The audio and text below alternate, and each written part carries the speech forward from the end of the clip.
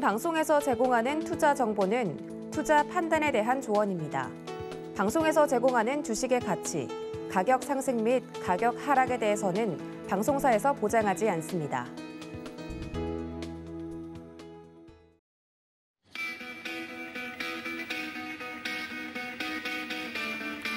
안녕하십니까. 고수익 작전 타임 진행의 도지은입니다. 어, 연일 뉴욕 증시가 상승세를 이어가고 있습니다. 어, 이어가는 이유에 대해서는 3분기 실적 발표가 진행되고 있는데 기업들의 실적이 예상보다 좋게 나오고 있다라는 것이 대부분의 평가입니다. 좀 이른 산타 랠리가 시작되는 걸까요? 이제 막 3분기 실적 발표가 시작되기 때문에 어, 말하기에는 좀 조심스럽지만 일단 증시 자체는 상승세를 좀 보이고 있다는 점 알려드리면서 기분 좋게 시작을 해볼 수 있을 것 같습니다. 자세한 글로벌 이슈부터 국내 증시 작전까지 세워보도록 할 테니까 저희와 함께 해주시면 좋을 것 같고요. 먼저 글로벌 이슈 분석을 해주시는 첫 번째 전문가님과 함께 이어가 보도록 하겠습니다. 어, 루크투자연구소의 임순재 대표님 전화로 연결되어 있습니다. 대표님 안녕하십니까? 네, 안녕하십니까? 네, 반갑습니다. 어, 첫 번째 질문부터 좀 드려보도록 하겠습니다. 뉴욕 증시 굉장히 좋은 흐름 보이면서 마감이 됐다고요? 네, 맞습니다. 어디 전일 미국 3대 지수는 뭐 어, 예상보다 높은 기업 실적 발표로 인해서 큰 폭 상승을 보였다라고 보시면 될 것 같습니다. 뭐 다우 지수 같은 경우는 1.12%, 그 다음에 나스닥도 0.9%, S&P 500 같은 경우도 1% 넘는 상승세를 보였고요. 필라델피아 반도체 지수는 상대적으로 조금 부진하면서 0.42% 상승에 멈췄습니다. 뭐 장 초반도 좀 더 강한 상승세를 출발했습니다. 그래서 다우 같은 경우는 이틀 연속 뭐 1000포인트 가까운 그런 상승세를 장중에 보이기도 했었는데요. 그 이후에 채권금리 상승과 차익 매물 추례로 인해서 상승폭이 다소 축소되는 그런 모습을 보였습니다. S&P 500 같은 경우는 어저께 3,720포인트로 끝나면서 10월 7일 이후 다시 3,700포인트를 회복하는 그런 모습을 보였습니다. 나스닥 같은 경우에는 뭐 장중 좀 그, 어, 진폭이 좀 있었는데요. 뭐 보합권까지 밀렸다가 장 막판 매수세로가 유입이 되면서 플러스권으로 이제 마감을 했는데요. 어저께 나스닥이 장중에 밀렸었던 이유는 애플 관련된 부분인데요. 애플의 아이폰 14 플러스의 생산량이 감산될 것이다라는 소식 때문에 장중 한때 애플 같은 경우도 마이너스로 급락을 했다가 플러스로 다시 반전을 했습니다. 뭐 기사 내용은 애플이 중국 부품사의 아이폰 14용 그 부품 생산을 중단시켰다라는 그런 얘기가 나오면서 전체적으로 불안한 그런 모습이었는데 시장 전체적으로는 뭐 큰 영향은 좀 없지 않았나라는 생각이 들고 있습니다. 어, 모든 섹터가 전부 다 상승을 했습니다. 특히 산업재, 소재, 유틸리티, 금융 섹터가 상대적으로 높은 상승세를 기록한 그런 하루였고요. 어, 특히 이제 전일 같은 경우에 그 3분기 기업 실적이 발표된 기업들이 어, 예상보다 실적이 좋은 그런 모습을 보였습니다. 뭐 지난주 금융주도 금융주 회사들이 비교적 좋은 그런 이제 실적 발표를 이어 어, 나왔었는데요. 오늘 같은 경우도 뭐 골드만삭스 같은 경우도 시장 예상치를 상회하는 발표로 인해서 2% 이상 상승하는 그런 모습을 보였습니다. 어, 금융주들이 그 기준금리 인상 영향으로 인해서 어, 예대 마진이 확대되면서 실적이 전반적으로 좋아지고 있는 그런 모습들을 좀 보이고 있다라는 게 특징적이었다라고 보시면 될 것 같고요. 그 외에 어저께 실적을 발표한 존슨앤 존슨 같은 경우도 어, 주당 EPS가 2.5달러를 상 달러로 시장 예상치를 상회하면서 강세를 보였고요. 록히드 마틴 같은 경우도 시장 예상치를 상회하는 주당 EPS를 기록을 하면서 8% 넘는 상승세를 보였습니다. 다만 이제 그 장난감 회사인 헤즈브로 같은 경우는 어 3분기에 그 판매 부진 그에 따른 재고 증가로 인해서 어 실적이 부진하다라는 그런 얘기가 나오면서 어, 하락을 하는 그런 모습을 보였습니다. 어, 실적 관련돼서는 가장 크게 시장에서 주목받았었던 게 시간 외에 실적을 발표한 넷플릭스 아닌가라는 생각을 해보고 있습니다. 어, 넷플릭스는 주당 EPS가 3.1달러를 기록을 하면서 시장 예상치 2.13달러보다 큰 폭 상회를 했고요. 특히 가입자, 가입자 수가 241만 명이 증가를 하면서 시장 예상치 100만 명을 상회를 했습니다. 넷플릭스 같은 경우는 상반기에 계속 주당 EPS 그 다음에 가입자 수가 하락을 하면서 전반적으로 주가가 하락을 했는데요. 이거를 만회할 만큼의 그런 이제 어, 가입자 수 증가와 주당 EPS 증가다라고 보시면 되겠습니다. 어, 이에 따라서 장중 1.7% 하락 마감을 했는데 시간 외에서는 14% 넘는 상승세를 현재 기록 중에 있다라는 것도 특징적이지 않나 싶습니다. 또 하나는 이제 항공사들의 이제 실적들이 발표가 되고 있는데요. 어, 지금 지난주에 델타 항공이 발표가 됐고 이번 주에는 유나이티드 항공이 오늘 발표를 했습니다. 뭐 일단 실적 자체는 코로나 이전 수준으로 지금 상당히 접근하고 있는 그런 모습이다라고 보시면 될 것 같고요. 어, 유나이티드 항공 같은 경우에 4분기 가이던스를 본다라고 하게 되면 코로나 이전인 2019년 수준 이상의 실적을 기대한다라는 그런 발표를 했습니다. 이에 따라서 사, 시간 외에서 7% 정도의 상승세를 보였다라는 게 좀 특징적이지 않나 싶고요. 어, 개별 종목을 본다라고 하게 되면 뭐 대부분 업 종들이 상승을 했고요. 엔비디아, 엔, 아, 메타가 어, 0, 약 1% 정도의 그 어, 하락을 보였습니다. 뭐 메타 같은 경우는 어, 오늘 밤에 이제 그, 아, 내일 우리나라 시간은 내일 새벽이죠. 뭐 실적이 발표될 예정인데 아마 실적이 예상보다는 좀 부진하지 않을까라는 그런 우려가 미리 좀 선반영되어 있다라고 보시면 될 것 같고요. 어, 또 하나 이제 업종별로 어, 섹터별로 본다라고 하게 되면 크루즈 관련 기업들이 비교적 강한 그런 상승세를 보였습니다. 특히 카니발 같은 경우에 자회사에서 2028년까지 한 12억 달러 정도를 받을 것이다라는 그런 소식에 12% 정도 급등세를 보였고요. 뭐 이렇게 어, 칸, 카니발이 그 급등세를 보이면서 어, 노르웨이 크루즈나 로얄 캐리비안도 8% 내외의 상승세를 보였다라는 게 특징적입니다. 또 하나 아, 그리고 이제 전일 채권 시 금리는 뭐 큰 출렁거림 없이 이제 마감을 했습니다. 10년물 국채 금리는 4%를 기록을 하면서 전일 대비 1.5bp 하락을 하는 그런 모습을 보였습니다. 그렇지만 뭐 장초 뭐 어저께 변동폭 자체는 상당 부분 좀 작았다라고 보시면 될 것 같고요. 어, 패드워치의 11월 기준금리 인상 확률은 뭐 75bp가 뭐 계속 유지되고 있다라고 보시면 될 것 같고요. 연말 기준금리, 그러니까 12월 달 기준금리죠. 이것도 4.5% 이상이 될 확률이 지금 98%대로 뭐 매우 높은 그런 상황이고요. 어, 확률적으로 본다라고 하게 되면 12월에도 75bp를 인상을 할 것, 연속 인상을 할 것이다라는 그런 게 아직까지는 확률적으로 좀 높은 그런 수준을 유지하고 있는 그런 상황입니다.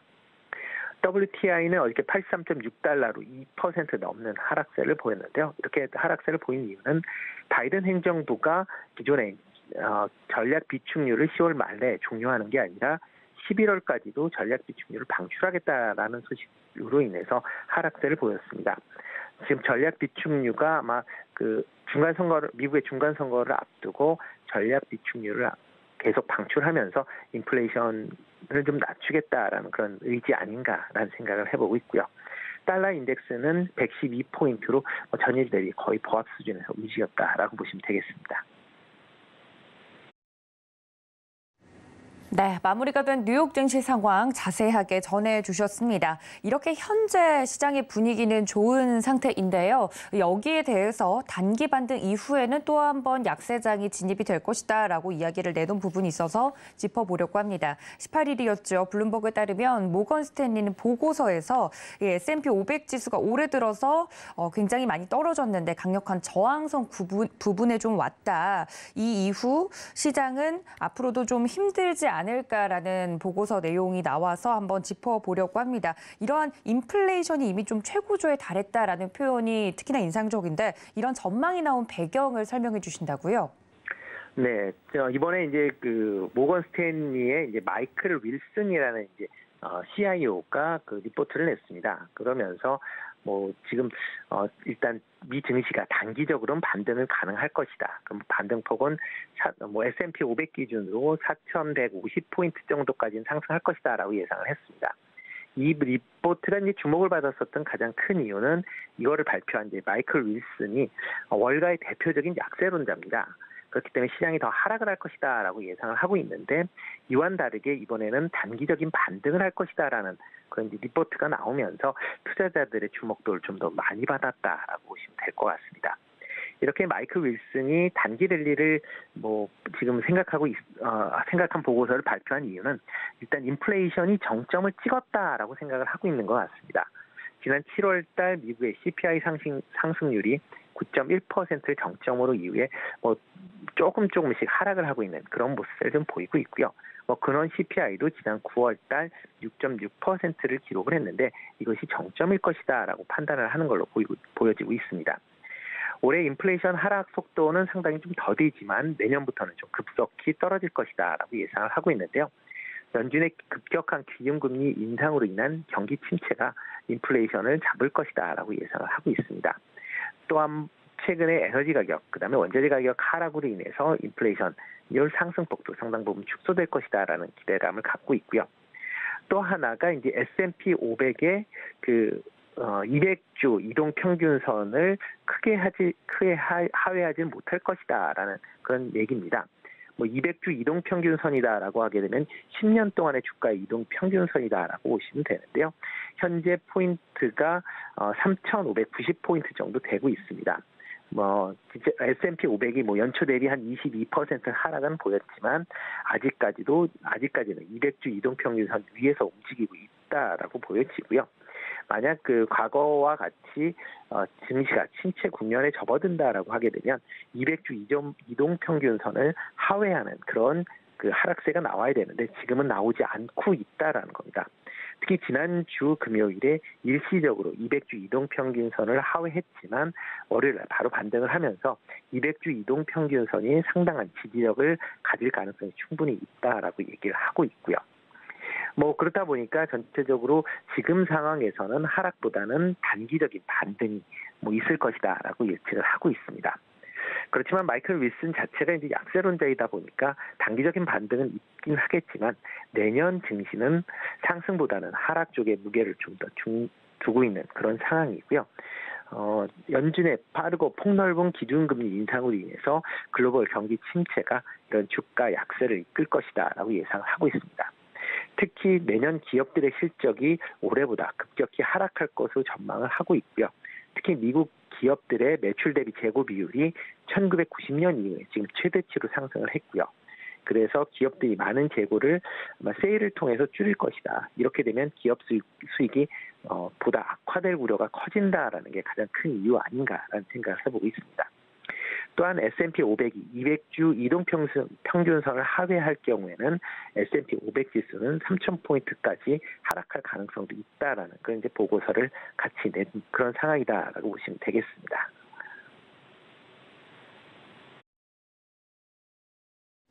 네, 자세한 이런 전망이 나오게 된 배경에 대해서 이야기를 해 주셨습니다. 아무래도 이번 연도뿐만 아니라 이후에도 긴축에 대한 행보가 이어진다면 약세장을 피할 수 없을 것 같은데요. 이런 부분에 대해서 보고서를 통해 모건 스탠리가 자세하게 좀 전망한 내용 저희가 짚어봤습니다. 자, 그렇다면 지금 3분기 실적 시즌이 본격적으로 또 시작이 됐고 예상했던 것보다 걱정했던 것보다 기업들의 실적이 좀 좋게 나와주고 있어서 실적 시즌 초반 분위기는 나쁘지 않은 상황 상황입니다만 우리가 또 주목해야 될 기업과 그 기업들의 실적 전망에 대해서 알려주신다고요. 네, 뭐 미국 기업이 지금 3분기 그 실적 시즌에 접어들기 전에 어, 순이익 증가율이 예상보다 좀 낮을 것이다라고 지금 많이 추정들 했습니다. 대표적으로 페트색 같은 경우 S&P 500 기업의 순이익 증가율이 2.4% 정도에 머물 것이다라고 예상을 하고 있고요. 특히 에너지주를 제외하면 순이익 증가율이 역성장할 것이다라고 예상을 했습니다. 특히 최근에 달러 강세 현상으로 인해서 기업 실적이 둔화될 것이라고 예상을 했는데요. 미국 달러화가 만약에 1% 상승할 경우에 S&P 500 기업의 순이익은 한 3% 정도 감소할 것으로 예측을 하고 있는 상황이어서 아마 이런 뭐 예측치가 좀 더 많이 있었지 않았나 싶습니다. 그렇지만 이제 지난주 금융주를 시작으로 본격적인 3분기 기업 실적이 발표가 되면서 지금 기업 실적이 시장 예상치를 상회하는 그런 모습을 보이고 있습니다. 특히 4대 은행 같은 경우 뭐 예상보다 상당한 그 뭐 매출을 기록을 하고 있는 그런 상황이고요. 특히 이제 예대 마진 증가로 인해서 수익이 이제 확대를 하고 있는 그런 모습을 보이고 있습니다. 특히 연체율도 역사적인 수준으로 낮은 수준이 유지되면서 아직까지 미국 경제가 양호함을 나타내고 있다라고 보시면 되겠습니다. 그리고 뭐 오늘 전일 이제 미국 시장에서 어, 발표된 기업실 3분기 기업 실적도 예상치를 상회하면서 전반적인 시장 분위기가 상당히 좋다라고 보시면 될 것 같고요. 어, 이번 주에 뭐 실적 공개가 이제 예정된 기업들이 이제 몇 군데가 있습니다. 이, 어, 일단 온, 어, 내일 새벽에 아, 아, 오늘 밤이죠. 19일 때 이제 발표될 기업은 테슬라, P&G, ASML, 그다음에 랩리서치 등이 이제 발표가 될 예정이죠. 뭐 테슬라 같은 경우는 3분기 실적은 예상치에 부합할 걸로 뭐 전망은 되고 있지만 4분기 이후에 가이던스가 좀 많이 위축이 되지 않을까라는 생각을 해보고 있습니다. 특히 어, 미국의 경기 침체가 이루어진다라고 하게 되면 어, 최근에 이제 전기차의 가격이 상승하게 상승했었던 그 이유로 자동차 판매가 조금 줄어들지 않을까라는 그런 우려가 지금 시장에 좀 있다라고 보시면 될 것 같습니다. 어, 이 외에 20일 날은 AT&T, 스냅, 그다음에 아메리칸 항공이 어, 실적 발표가 할 예정이고요.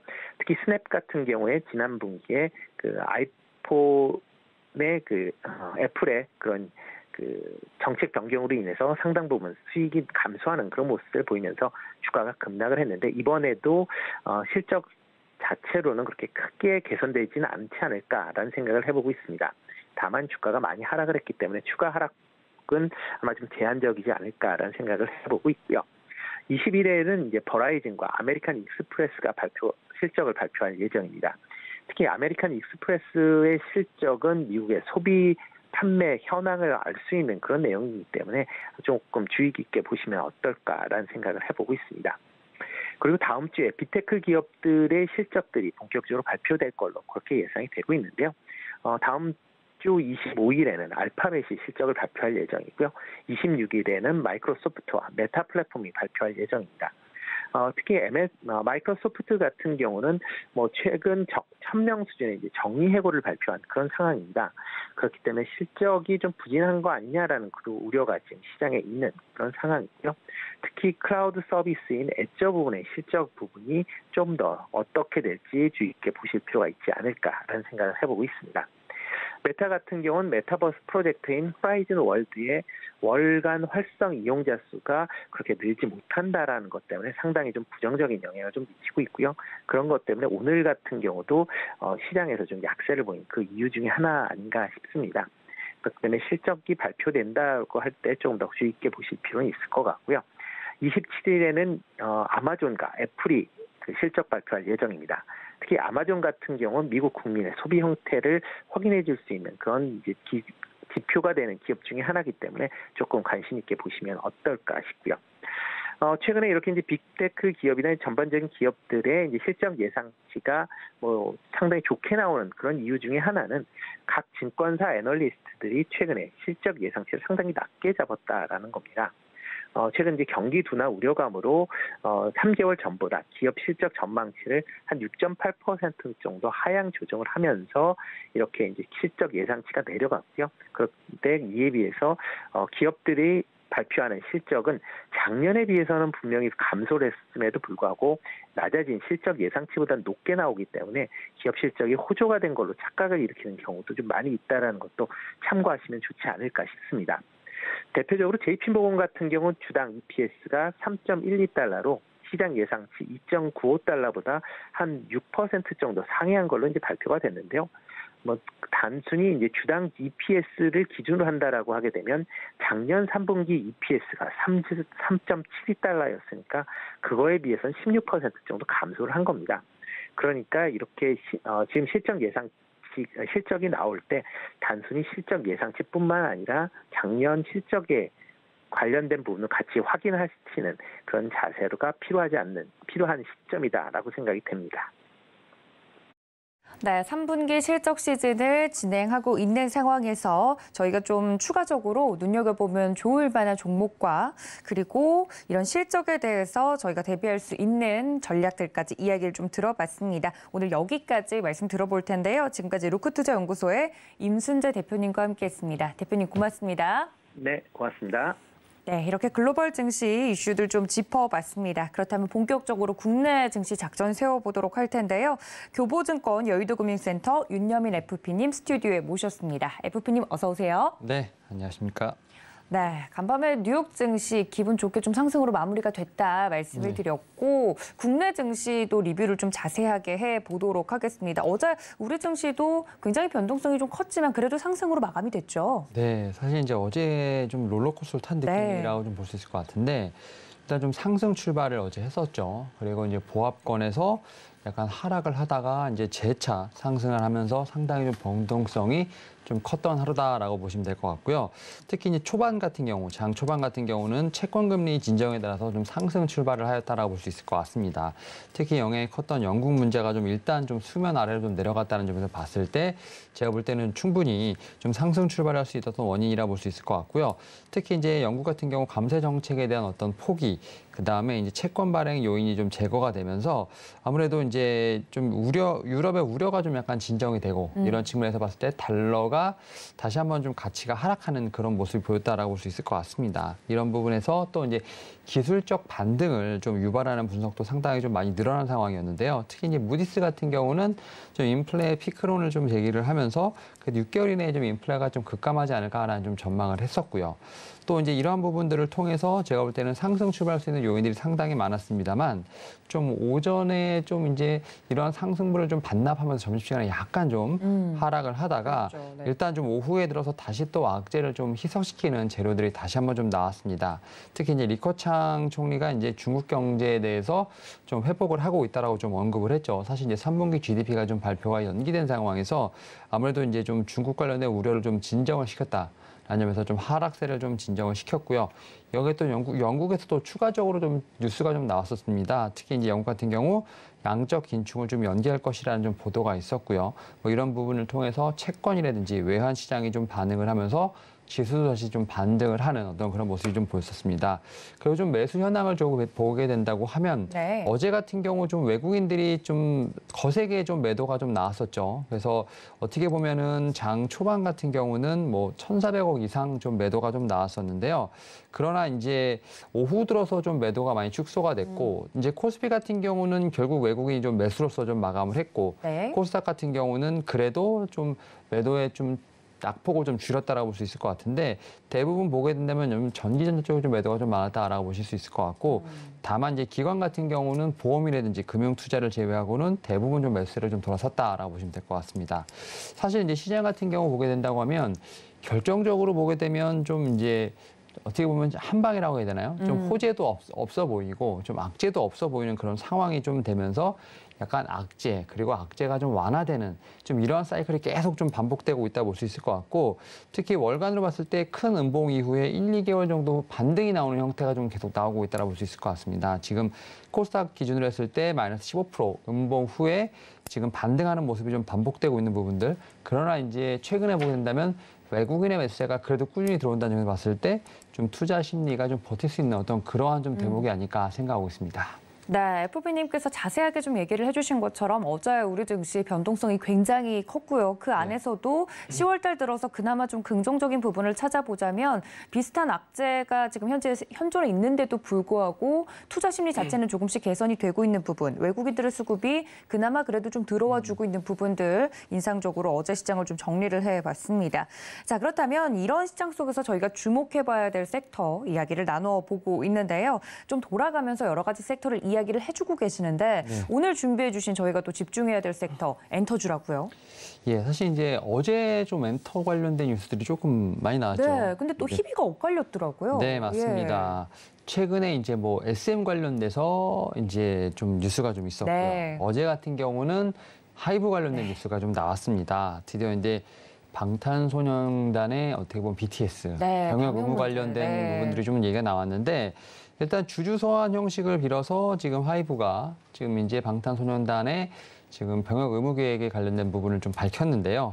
일단은 10월 말 입영 연기를 좀 취소했죠. 멤버 진에 대해서 이제 입영 관련 절차를 좀 따를 것이다라고 얘기가 좀 음. 나오고 있고요. 또 이제 순차적으로 방역 병역에 대한 이행을 좀 계획을 하겠다라고 좀 얘기가 나온 부분이 있기 때문에 이러한 측면에서 지금 10월 지금 멤버 진을 좀 필두로 해서 어. 어떤 병역에 대한 부분들을 좀 어, 해결할 것으로 보이고 있고요. 그러한 측면에서 상반기까지 내년 상반기까지 뭐 개별 활동을 하면서 전부 다 군입대를 좀 하고 그다음에 이제 네. 2025년에 좀 완전체 활동을 하지 않을까라는 좀 예상을 하고 있습니다. 그러니까 약 한 3년 정도의 좀 공백은 있다라고 보시면 될 것 같은데 다만 이제 어떻게 보면 병역 이슈가 사실은 한 6월 지금 7월부터 계속 뉴스, 뉴스가, 뉴스가 좀 나왔고 그러한 부분에서 거의 한 4개월 정도 지금 주가가 많이 좀 밑에서 기었던 부분이 있다라고 네. 한다면 봤을 때 좀 리스크가 좀 해소되는 부분이라고 좀 볼 수 있을 것 같고 특히 이제 BTS 지금 방탄소년단이 없을 때 네. 어떻게 하이브가 좀 매출을 좀 올릴 것이냐에 대한 부분들 상당히 좀 어, 걱정과 좀 우려가 있었는데요. 사실 뭐 위버스라는 좀 라이브를 통해서 어떻게 보면 이미 기술적으로도 플랫폼적으로 좀 많이 올라왔던 부분도 있고요. 특히 이제 BTS 없이도 지금 성장할 수 있게끔 뭐 신인 그룹들 많이 데뷔를 하고 있는 네. 상황. 여기에 또 어떤 외국 쪽에서 어떤 팬텀도 많이 형성돼 있는 부분이 있기 때문에 그러한 부분을 봤을 때를 다 본다 하더라도 지금 주가는 너무나 바닥이다라고 보실 수 있을 것 같습니다. 이런 음. 측면에서 조금 수급에 대한 부분을 조금 체크해 보시고 좀 이제 외국인의 매세가 좀 붙는다고 하면 충분히 좀 반등에 대한 부분을 모색할 수 있지 않을까 좀 생각을 하고 있고 저는 이제 이제 하이브가 어떻게 보면 엔터테인먼트 4사 중에서 좀 기준이 되는 어떤 그런 종목이라고 한다면 최근에 엔터테인먼트 관련돼서 가장 좀 호평이 쏟아지고 있는 종목은 JYP 엔터테인먼트 아닐까 좀 네. 생각을 하고 있습니다. 결국 이제 실적에 대한 부분뿐만 아니라 좀 하이브와 같은 좀 팬덤을 좀 보유하고 있는 음. 종목이라는 뜻에서 봤을 때 지금 제가 볼 땐 JYP 엔터가 제가 볼 때는 지금 상황에서는 top pick이 아닐까라는 좀 생각을 하고 있고요. 네. 특히 이제 3분기 같은 경우가 좀 실적이 상당히 좋습니다. 특히 매, 매출액 같은 경우 한 911억 정도, 영업이익 같은 경우는 288억 정도가 좀 예상이 되면서 특히 이제 영업이익이 한 58% 정도 증가를 하는 거거든요. 전년 동기 대비해서 이런 측면에서 지금 사상 최대 실적이 좀 예상되고 있다라고 볼 수 있을 것 같고 지금 뭐 3분기뿐만 아니라 4분기까지도 실적 성장세가 좀 뚜렷이 나오고 있는 상황이라 볼 수 있을 것 같습니다. 특히 이제 하이브에게는 BTS가 있다면 네. 지금 이 JYP 엔터에는 이제 트와이스가 있죠. 트와이스, 네. 근데 이제 트와이스랑 스트레이트 키즈가 재계약을 다 완료했습니다. 아. 그래서 2025년까지는 뭐 멤버들이 꾸준히 갈 수 있다라는 어떤 그런 측면을 봤을 때 뭐. 인적 네. 리스크가 좀 없다라고 보실 수 있을 것 같고 특히 뭐 스트레이트 키즈 같은 경우는 최근 컴백에서 237만 장 지금 선주문을 좀 기록할 정도로 제가 볼 때는 뭐 제, 어, JYP 엔터 같은 경우는 꼭 이제 트와이스만 있는 것이 아니다라는 그렇죠. 측면에서 봤을 때 어떻게 보면 아티스트들이 상당히 좀 다변화가 되고 있고 이런 측면에서 미국에서의 팬덤도 계속 지금 어, 제가 볼 때 진행되고 있는 음. 부분이 있기 때문에 지금 실적의 성장세를 좀 기반으로 해서 여러 아티스트들 거기다 또 이제 오프라인 콘서트까지 좀 제가 볼 때는 더해진다고 하면 JYP 엔터 같은 경우는 일단은 지금 현재 상황에서 엔터테인먼트 음. 사 4사 중에선 가장 최선호주가 아닐까 생각하고 있습니다. 어, 굳이 JYP 엔터와 하이브 둘 다 이제 불확실성이 좀 해소된 부분들이 있기 때문에 네. 긍정적으로 풀이될 만한 부분들이 더 많고 그래도 둘 중에 하나를 이제 top pick주로 고른다면 지금은 JYP 엔터가 조금 더 네. 나아 보인다라고까지 이야기를 해주셨습니다. 하지만 하이브도 어, 굉장히 주가적인 측면에서는 굉장히 싼 구간이기 때문에 네. 이런 부분에 대해서도 그렇고 일단 이 병역 문제와 관련돼서 어, 불확실성이 좀 해소된 부분이 긍정적으로 풀이가 되고 있기 때문에 이러한 엔터주들의 실적에 영향을 미칠 만한 이슈들 도 정리를 해드렸으니까 엔터주 자체에 대해서 섹터에서 관심이 많았던 분들은 이 이슈들까지 모두 챙겨 가 주시면 좋을 것 같습니다.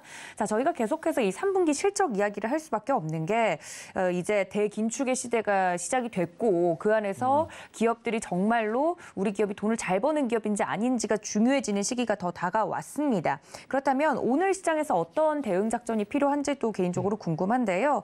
어, 관련돼서 오늘 장은 어떨 거라고 좀 예상을 조심스럽게 하십니까? 어, 지금 상황에서 봤을 때 지금 우리나라는 이제 외국인의 매수세, 네. 그다음에 좀 주도주의 어떤 구조가 가장 음. 중요하지 않을까 좀 생각을 하는데 일단은 코스피를 보게 된다면 딱 9월 29일부터 외국인이 계속 매수를 하고 있습니다.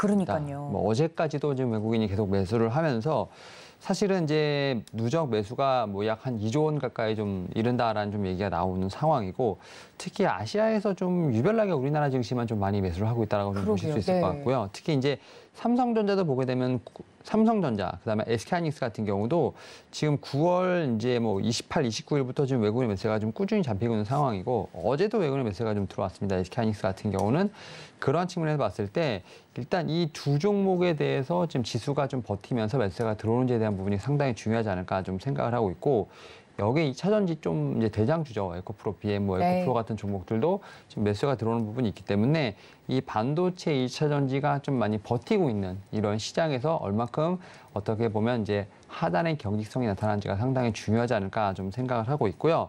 앞에서 좀 말씀드렸던 것처럼 이제 SK 하이닉스가 지금 상당히 저는 중요한 어떤 역할을 해야 되지 않을까 음. 생각을 하고 있는데 일단 8만 원대 어떤 저점을 찍고 지금 9만 5천 원까지 거의 한 15% 이상의 좀 상승세가 나왔습니다. 지금 월간으로 보게 된다면 상당히 좀 상승세가 가파르다 볼 수 있을 것 같고 특히 이제 SK 하이닉스가 좀 중심을 이렇게 잡아 준다고 하면 SK 하이닉스 말고도 지금 뭐 다른 섹터라든지 다른 종목으로 좀 어떻게 보면 매수를 유발할 수 있는 어떤 그러한 제가 볼 때는 지수 방어력 관점에서 봤을 때는 상당히 중요한 역할을 하고 있는 부분이 있기 때문에 SK 하이닉스 뭐 지난주에 61선 돌파했죠. 좀 이런 부분은 이번 주에 좀 버티는지 계속 봐야 되지 않을까 좀 생각을 하고 있고요. 네. 지금 최근에 보게 되면 신용이 상당히 많이 감소했습니다. 오. 지금 코스닥 같은 경우는 마이너스 18% 이상, 코스피 같은 경우는 마이너스 15% 이상 좀 감소를 했기 때문에 결국 이제 좀 매물 부담을 어떻게 보면 좀 보였던 신용이 좀 많이 감소가 되면서 뭐 개인 투자자분 상당히 좀 안타깝습니다만 결국 이제 매물의 공백에 대한 부분들 효과가 생기고 있죠. 여기서 3분기 실적에 대한 부분이 어느 정도 좀 상향되는 어떤 그러한 종목들 결국 신용 급감에 따라서 어떻게 보면 매물에 대한 부분들이 좀 상당히 가벼워졌고 여기 또 3분기 실적이 좀 어떻게 보면 upside가 된 종목들에 대한 제가 볼 때는 개별적인 종목 좀 관심을 가져야 되지 않을까 생각하고 있습니다. 네, 말씀해 주신 것처럼 외국인들의 수급이 지금 연속적으로 들어오고 있는 가운데 이 주도주와 관련된 부분들 굉장히 중요하게 좀 체크를 해봐야 된다. 시장 자체적으로 좀 가볍게 갈 수 있는 환경들이 조성이 되고 있는 것 같은데요. 주가가 9월 말 굉장히 힘들었기 때문에 음. 10월 이후에는 좀 산타가 빨리 찾아와서 이른 산타 랠리가 이어지길 바랍니다. 시장에 대한 오늘장 작전까지 세워봤습니다. 교보증권 여의도금융센터 윤여민 FP와 함께했습니다. FP님 고맙습니다. 네, 감사합니다. 네, 이어서 전문가님과 함께 이슈 분석을 진행해 보도록 하겠습니다. 인베스팅 코리아 이동훈 수석 연구원님 연결되어 있습니다. 연구원님 안녕하십니까? 네, 안녕하십니까. 네, 반갑습니다. 자, 이슈를 굉장히 자세하게 분석해주고 계시는데요. 어제 일단 국내 증시부터 점검을 좀 해봐야 될 것 같습니다. 어떤 포인트를 시장을 정리해 주셨을까요? 네, 전일 국내 증시는 양시장 모두 오전에 외인이 순매도에 나서면서 그 힘을 잃었습니다. 그로 인해 낙폭을 확대하기도 했었지만 코스피의 경우 오후 들어 기관 매수와 함께 외인이 매수세 우위로 전환을 하면서 지수의 상승폭을 키우며 마감을 하였고 코스닥은 개인과 기관이 상승을 견인한 모습이었습니다. 지난밤 미 증시가 기대 이상의 기업 실적과 영국 금융시장 안정에 힘입어서 강세를 보인 영향으로 국내 증시의 투자 심리도 개선된 것으로 보여지며 영국의 금융 불안의 원인으로 작용한 리즈 트러스 내각의 감세 정책이 대부분 폐기된 것도 증시에 호재로 작용을 했습니다. 국내 시장 상황을 조금 더 자세히 살펴보면 원달러 환율의 경우 전 거래일보다 13원 내린 1,422원의 거래를 마쳤습니다. 어제 코스피 지수는 이러한 원달러 환율 하락에 힘입어 2,250선에 육박을 하면서 1.36% 상승 마감을 했습니다. 코스닥 또한 외인의 매도세에도 불구하고 개인과 기관의 매수세로 2% 넘게 올랐습니다. 영국의 금융시장 리스크 잡음이 거치면서 국내를 포함한 아시아 증시와 미국 선물 시장의 투자 심리가 계속 개선되었고 매크로 악재가 발생하는 신규 돌발 상황이 없는 한 국내 증시의 남은 10월 분위기는 견조할 것으로 예상됩니다. 네, 우리 연구원님이 말씀해 주신 것처럼 남은 10월 굉장히 좋은 흐름 보였으면 좋겠는데 그 본격적으로 오늘 골라주신 이슈에 대해서도 파고 들어가 보도록 하겠습니다. 어, 굉장히 지금 실적 발표가 이어지고 있는 가운데 기업들의 주가가 좋은 흐름을 보이고 있는데요. 그런데 한편으로는 해결되지 않은 이슈가 있습니다. 이 러시아와 우크라이나 전쟁 이슈인데 현재 시각으로 18일 로이터 통신에 따르면 또 한 번 우크라이나에서 이 폭발음이 들렸다라는 이야기들도 나오고 있고 전쟁은 계속 계속해서 진행 중인 것 같은데 어, 우크라이나 재건과 관련된 이슈들이 시장에서 또 주목을 받고 있습니다. 어떤 내용인지 자세하게 살펴주신다고요? 네, 이제 러시아 우크라이나 전쟁이 계속 지속되고 있는 가운데에서 어제는 포로 교환 소식 그리고 우크라이나 재건 기대감 상승에 관련주들이 움직이는 시장 상황이었습니다. 이슈를 자세히 살펴보면 현지 시간으로 17일 우크라이나의 100명이 넘는 여성 포로가 러시아와 포로 교환으로 석방이 됐습니다. 지난달 270명 이후에 최대 규모인데요. 당시 우크라이나는 215명, 러시아는 55명의 포로를 각각 교환한 적이 있었습니다. 이러한 이슈와 더불어서 우크라이나 재건 소식도 요, 요 며칠 계속 지속적 으로 들려왔는데요. 내용을 요약해 보자면 최근 우크라이나 최고 국, 최고위원들로 구성된 의회 대표단이 지난 15일에 러시아 침공 이후 처음으로 일본을 방문했고 이들은 일본 방문 기간 동안 러시아 제재에 대한 국제사회 공조와 러시아에 의해 파괴된 공장, 도로 등 기반 시설의 복구 및 일본의 전후 재건 지원 방안도 함께 논의할 예정이라고 합니다. 이러한 소식에 우리 시장에서는 우크라이나 관련주인 대모, 현대 에버다임, S엔지니어링, 동일 고무벨트 등이 상승하는 모습을 보였습니다. 특히 엔지니어링 전 분야에서 기획, 타당성 조사, 설계, 분석 평가, 감리 업무 등을 수행하는 건설 엔지니어링 회사인 한국종합기술의 상승이 돋보였던 하루였습니다. 러시아 우크라이나 전쟁의 장기화가 지속이 되는 가운데에서 전쟁, 종, 전쟁 종료 이후에 재건 복구 비용은 천문학적인 금액이 소요될 것이라 전해지고 있습니다. 재건 관련주는 지속적으로 이슈화될 것이고 전쟁 종료까지 재료가 살아있기 때문에 계속 주시해서 관련주 포트에 담아두시기 바라겠습니다. 네, 정말 21세기의 포로 교환이라니 개인적으로는 정말 마음이 아픕니다만 관련돼서 우크라이나 재건 소식 관련된 종목들 움직임들 살펴봐 드렸고요. 이슈 분석 자세하게 해드렸으니까 이 테마에 대해서 여러분들도 insight 얻어가시면 좋을 것 같습니다. 자, 그렇다면 현재 이런 상황에서 저희가 눈여겨볼 만한 특징적인 종목도 이야기를 나눠볼 텐데요. 어, 연건이 오늘 어떤 특징적인 종목 준비해 주셨을까요? 이슈와는 별개로 제가 오늘 관심 가지고 있는 종목이 LNF여서 LNF 종목을 가지고 왔습니다. LNF는 양극화 물질을 생산하는 업체인데요. 하이브리드 전기차, 전기 자전거 등 전력 저장 장치 에너지 원인, 에너지 밀도, 보출력, 전지용 사친 양극화 물질 사업을 하고 있습니다. LNF의 매출 비중은 수출로만 무려 96.97%를 기록하는 수출의 대표 효자 기업 중 하나입니다. 3분기 매출은 LNF의 최대 고객사인 테슬라랑 니켈, 코발트, 망간, 알루미늄 등 양극재 수요가 지속적으로 증가하면서 전분기 대비 출하량이 38% 증가했습니다. 테슬라형 매출 비중이 분기 기준 70%로 확대되고 있습니다. 테슬라의 중국, 유럽 지역 생산량 확대에 따른 수혜가 기대가 되는데 기가 상하이는 확장 이후에 연 100만 대 수준의 캐파를 확보를 했으며 기가 베를린 역시 연말까지 연 15만 대 수준까지 확대할 것으로 기대하고 있습니다. IRA 법안 통과 이후에 테슬라는 미국 내 배터리 확보에 집중하는 모습을 보이고 있습니다. 2023년도부터 IRA 법안이 시행이 되면 지금까지 보조금 지원 혜택에서 소외되어 왔던 테슬라의 전기차 판매량이 크게 증가할 것으로 보입니다. 이렇게 테슬라가 생산 능력을 빠르게 확장 중이므로 LNF의 상승 모멘텀은 충분하다고 보여집니다. 또한 국내 납품 업체인 LG 에너지 솔루션을 통한 양극재 출하 역시 하반기 지속적으로 증가할 것으로 보이기 때문에 LNF의 상승을 기대해 볼 수 있겠습니다. 다만 최근 미국에서 양극재 공장 건설 승인이 불발된 것을 투자자분들도 잘 알고 계실 겁니다. 승인을 받지 못한 이유가 양극재 제조 기술에 대한 보안 조치 미흡이므로 LNF는 경영권을 확보할 수 있는 형태의 합작사를 합작사를 설립하거나 혹은 단독으로 진출도 노려보고 있다고 합니다. 그 외에도 여러 가지 방안을 추가 검토해서 재심의 요청을 할 것으로 예상하고 있습니다.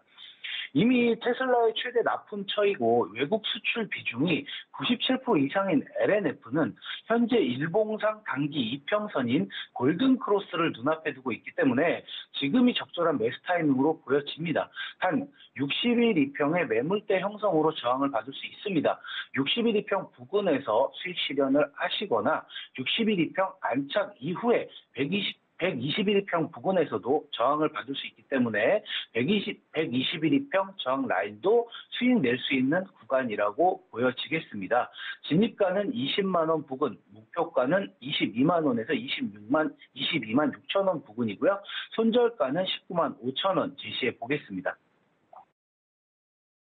네, 많은 투자자분들도 잘 알고 계시는 오늘의 특징적인 종목 LNF 자세하게 어, 내용을 좀 설명을 해드렸고요. 가격선까지 전달을 드렸으니까 여러분들 참고해 주시면 좋을 것 같고 무엇보다도 지금 현재 이 종목과 함께 좀 눈여겨볼 만한 테슬라 실적 발표 좀 앞두고 있죠. 긍정적인 흐름이 나오는지도 함께 챙겨가 보시면 좋을 것 같습니다.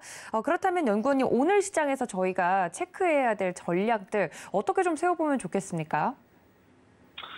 네, 전일 원달러 환율과 국제유가의 하락으로 상승장을 탔었던 우리 증시, 오늘은 어떤 흐름으로 이어가는지 봐야 할 것 같습니다. 원달러 환율이 12원 이상 급락을 하면서 1,420원대로 떨어진 건데요. 영국이 대규모 감세안을 대부분, 대부분 철회한 데다가 국제시장 안정성을 위해서 보유채권을 매각하는 양적 긴축을 추가 연기할 예정이란 외신 보도가 나왔습니다. 환율이 1,420원대로 내린 것은 14일 이후 2거래일 만인데요. 오늘 증시 역시 환율이 하락세를 이어가느냐 아니면 다시 반등하면서 국내 주식에 악영향을 주느냐가 관건이라고 보여지겠습니다. 전일 미증시 장 초반의 상승을 뒤로하며 BOE의 양적 긴축이 없다라는 발표 등으로 금리의 변동성이 확대되는 등 불안 심리가 아직 여전하다는 점은 한국 증시에 부담으로 작용할 것으로 보입니다. 특히 전일 한국 증시 상승 요인 중 하나인 BOE 양적 긴축 연기 기대가 사라진 점을 감안해서 전일 이로 인한 상승분을 반납하면서 출발할 것으로 예측을 해보겠습니다. 유럽의 천연가스 가격의 급락세, 유로존 경기 위축 가능성의 완화, 전일 넷플릭스의 시관의 견고한 실적 발표 후에 14%, 14% 상승은 긍정적으로 보여집니다. 오늘 하루는 실적 시즌을 실적 시즌을 진행하면서 개별 종목 장세가 전개될 수 있, 있으므로 어제 환율 하락으로 환율이 하락하며 수혜를 받는 종목들도 함께 눈여겨 보시면 좋을 것 같습니다. 네, 환율에 대한 포인트 짚어보자라고 이야기해 주시면서 오늘장 작전까지 세워봤습니다. 지금까지 인베스팅 코리아 이동훈 수석 연구원님과 함께했습니다. 연구원님 고맙습니다. 네, 감사합니다.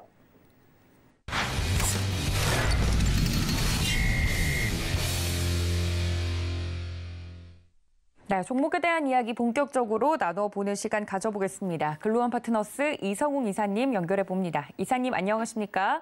네, 안녕하세요. 네, 반갑습니다.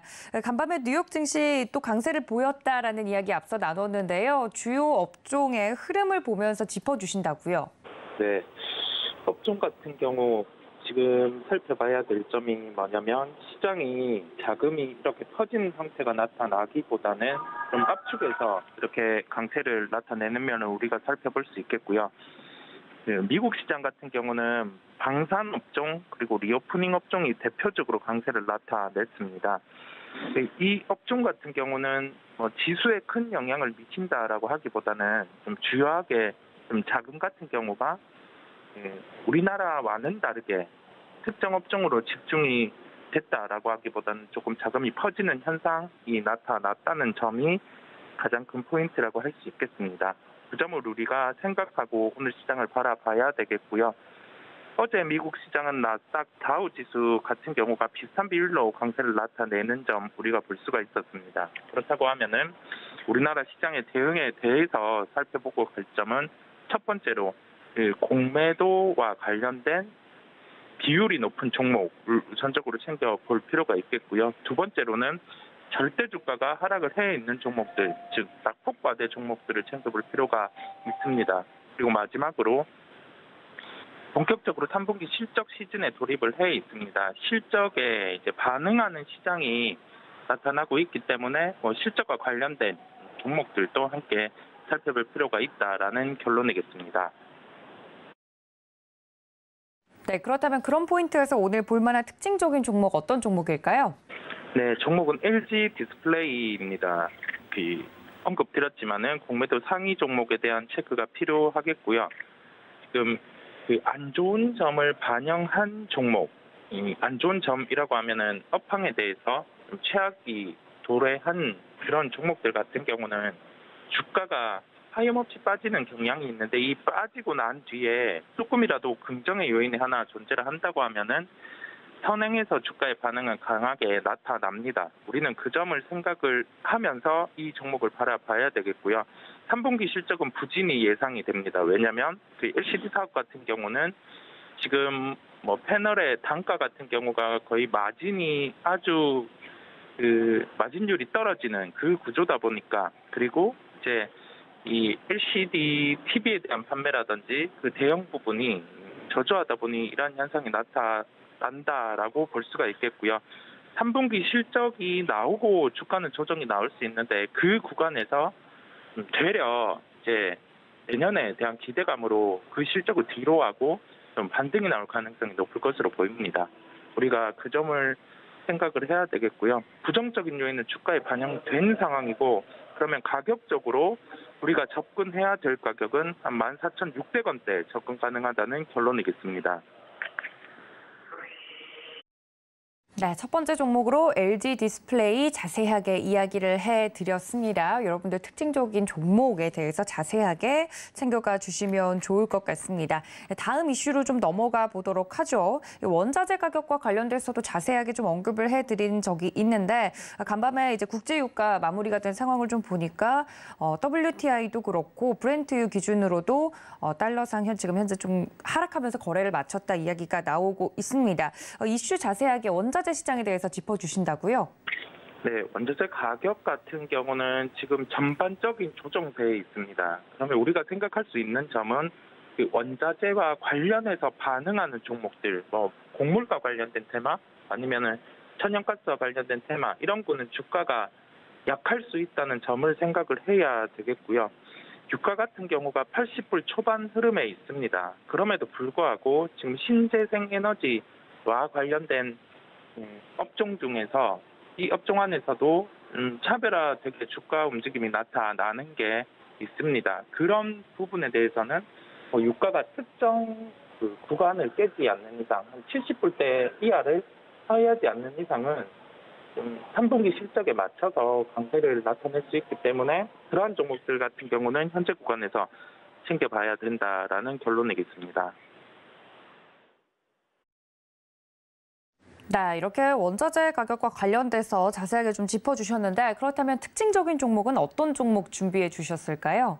네, 종목은 하나솔루션을 말씀드리겠습니다. 3분기 실적에 초점을 맞춰서 우리는 바라보는 겁니다.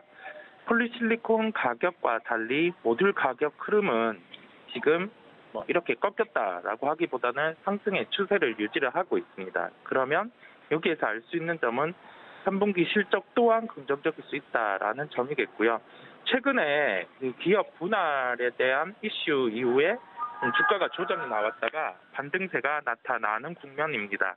기술적으로도 전 고점은 도달할 수 있는 구간이다 보니까 좀 매매에 대한 대응은 가격을 잡아놓고 이 가격이라고 하면은 뭐한 차례 눌림, 뭐 기술적인 눌림 구간에서는 매수의 대입이 필요한 종목이라고 할 수 있겠습니다.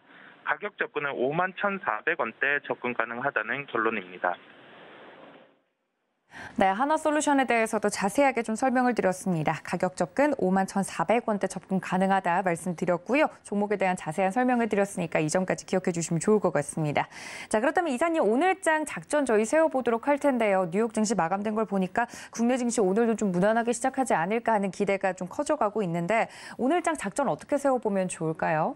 네, 일단 시가총액 상위주 위주에서 자금이 퍼지는지 이 흐름을 주목을 할 필요가 있겠고요. 그러한 현상이 나타난다고 하면 조금 주식을 늘려나가는 어, 그러한 움직임이 필요한데 아직은 그러한 흐름이 나타나지 않고 있습니다. 그러면 우리가 여기에서 알 수 있는 점은 시가총액 상위주 위주, 뭐 2차 전지, 소재, 그 IT는 미리 선행해서 주가가 올랐다 보니까 어좀 뭐 배터리와 관련된 셀 업체, 구체적으로 LG 에너지 솔루션, 실적이 나오지 않은 뭐 LNF 이러한 종목들을 살펴볼 필요가 있다는 결론이겠습니다.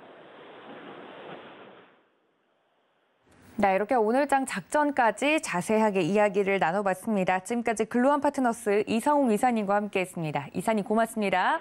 네, 감사합니다. 네, 이렇게 장전 전략 모두 세워봤습니다. 시장에 대해서는 그나마 좀 반등이 나와주고 있지만 안심하기엔 좀 이르다라는 보수적인 전략 계속 이야기를 좀 해드리고 있는데요. 장중 대응 전략도 저희가 세워드릴 예정이니까 함께해 주시기를 바랍니다. 본 방송에서 제공해드린 정보는 투자 판단에 대한 조언일 뿐 해당 주식의 가치나 수익률을 보장하고 있지 않다는 점까지 알려드리면서 저는 잠시 뒤에 다시 인사드리겠습니다. 시청해주신 여러분 고맙습니다.